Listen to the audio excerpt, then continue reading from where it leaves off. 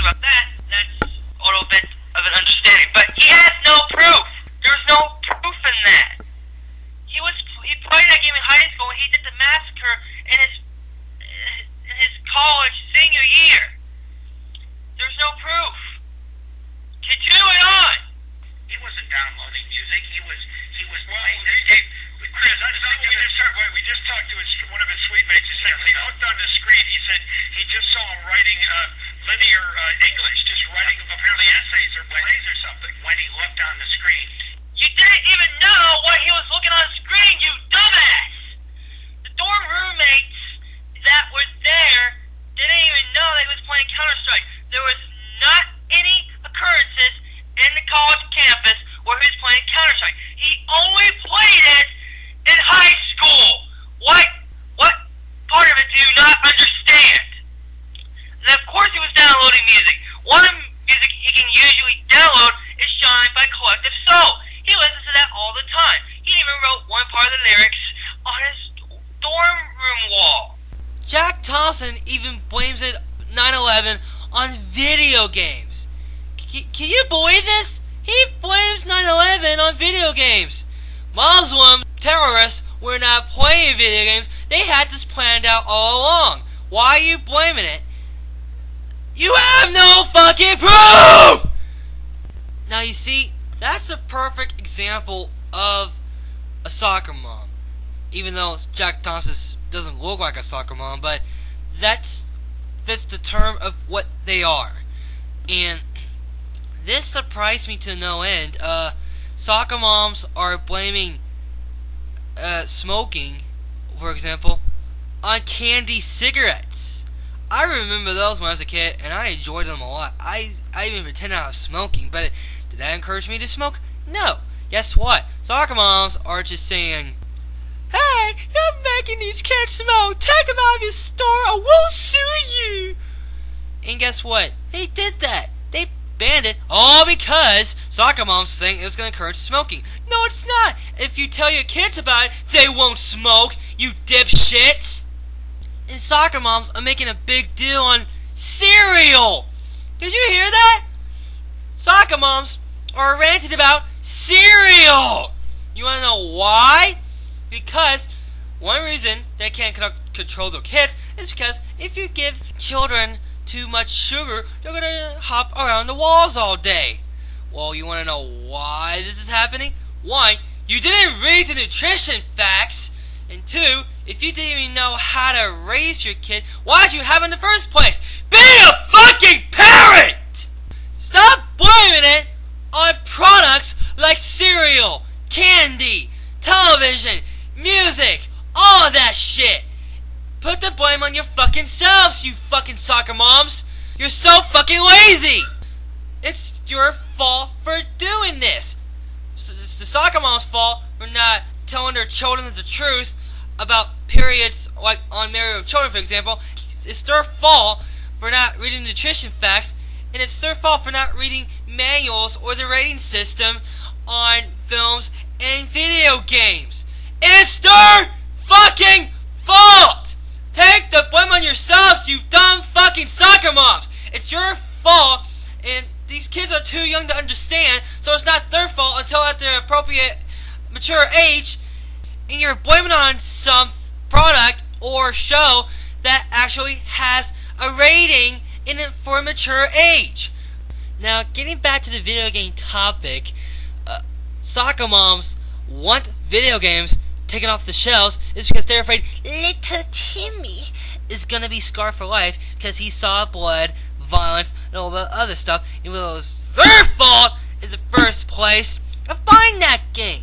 Unless the kid bought it without them being notified about it. So if the kid actually bought it, it's the store clerk's fault.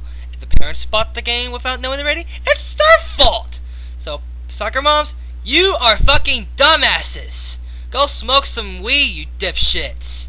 And you know what else is sad? About half of the soccer moms are Bible bashers.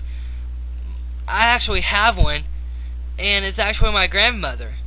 Uh, I have a little cousin.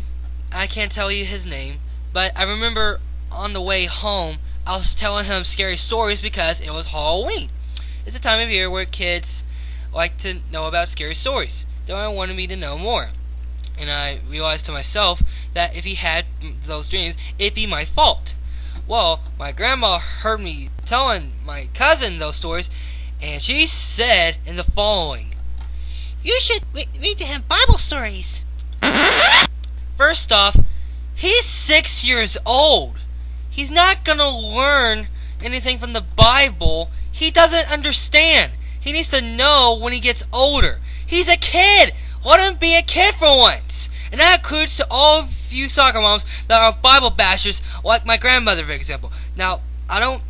I'm not saying I hate my grandmother. I love my grandmother, but I just hate how she bashes on my six-year-old cousin that he must know God or he needs to read the Bible. He's too fucking young.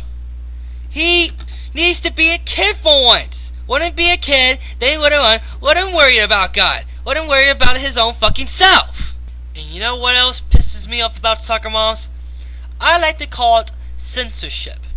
One of the worst censorships notarized on anime, for example, is making the the cars on the roads go right instead of left, as in the Japanese original. What is wrong with that? Kids are not gonna notice. I mean, I just don't see the big deal. You're saying that. I, my guess is that Bible Bashers is gonna say, we can't let them know about this. God forbid our children learning cultures other than ours.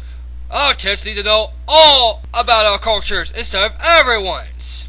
Soccer moms, leave the kids alone. Let them learn what they want unless you want to tell them something. But don't brainwash them to not learn about other cultures. Let them learn on their own. If they need to know something, then you let them ask about it. I mean, watch over your kids. See what they're watching, and if you see something like that, don't go, I blame it on video games. I'm gonna sue Fox for showing Family Guy because it looks cartoonish. Talk to them about it. Just be a fucking parent. Just go on your life as a normal parent instead of bashing on everyone's life and get over it. It's just a fucking TV show or any references to media. So sadly, the term of soccer moms is that they all are mothers that love to blame everything but on themselves. They always want to shelter their children from the real world, which is kind of sad. I was sheltered because I have a disorder, but I grew up to be more intelligent enough and I was able to realize about the full world.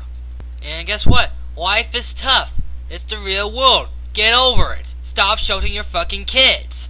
Let them grow up. Let them be kids. And when the real gets them, talk to them about it. And the last thing I want to talk about, soccer moms, really pisses me off. Remember Transformers? A big blockbuster hit around the summer. It was a good movie, but it's not the greatest film, but it was a good film. Guess what? A soccer mom was ranting about the film. Just one soccer mom was offended. And guess what she says? She said that I grew up watching cute shows, and when I heard about the Transformers, I took my son to go see it. Then when I saw it, I was offended by hearing cuss words, hearing from robots. Plus, I thought the Transformers was supposed to be cute and funny, but instead it's supposed to be evil. Also, it had sex jokes, and also, it was not portrayed as a kid's film, and therefore I was offended. Okay, Soccer Mom, did you know that Transformers was, I don't know, rated PG-13? If it was supposed to be cute and funny, then the film would have sucked. Plus, the only curse words that were in the film was shit and damn. That's it. And another one was one of the robots said, Hey, what's up, bitch? Now, I'm gonna say this one more time. It's rated PG-13. It's supposed to be based in action. Plus, it's not supposed to be a kids movie. Get it through your fucking damn mind. That's it. I'm done.